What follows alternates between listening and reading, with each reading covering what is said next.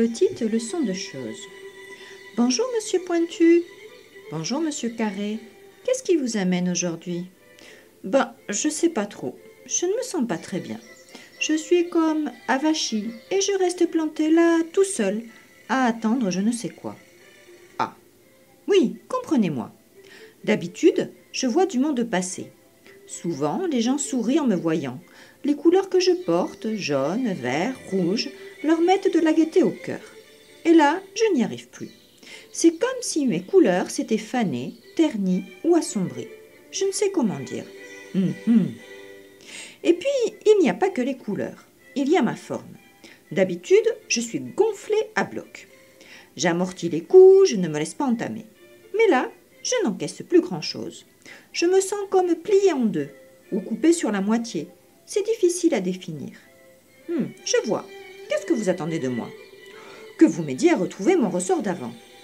Croyez-vous que cela soit possible? Je l'espère.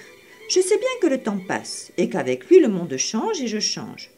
Il n'empêche que j'aimerais me sentir comme avant. Et comment vous sentiez-vous avant?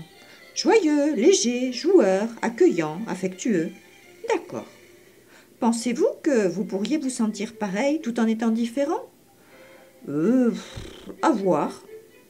Le coussin, défraîchi par tous les pleurs et déformé par tous les courageurs qu'il avait essuyés dans cette salle de développement personnel, devint songeur.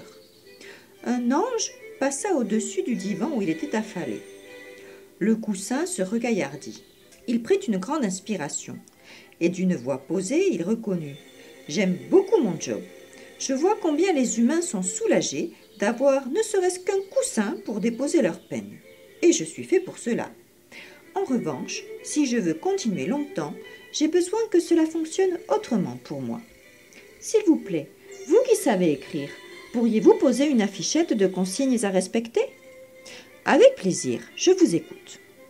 Je commençai donc à écrire sous la dictée les attendus de ce cher coussin carré pour qu'il continue de se sentir utile tout en se sentant respecté dans sa qualité d'être.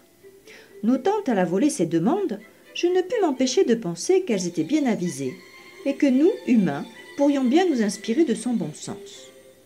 J'eus par ailleurs quelques minutes plus tard l'occasion d'observer qu'avec cette conversation, je m'étais prise à mon propre piège. Ayant pris congé de M. Carré, je m'apprêtais à descendre les escaliers quand soudain je vis quelques mètres plus bas un autre moi, identique à celui que j'étais juste quelques années auparavant. Svelte, élégant, l'expression insouciante, rayonnante, charismatique, pourrais-je oser presque dire. Me revint alors à l'esprit ma question de M. Savant Pointu. Comment pourrais-je me sentir pareil alors qu'aujourd'hui je suis différent? Sur l'instant, je ne fus pas plus malin que M. Coussin Carré. Et vous, qu'auriez-vous répliqué? Et Turlututu Coussin Pointu, en bonne et due forme l'esprit carré, répondre n'a point su. Il se mit à penser et se tut.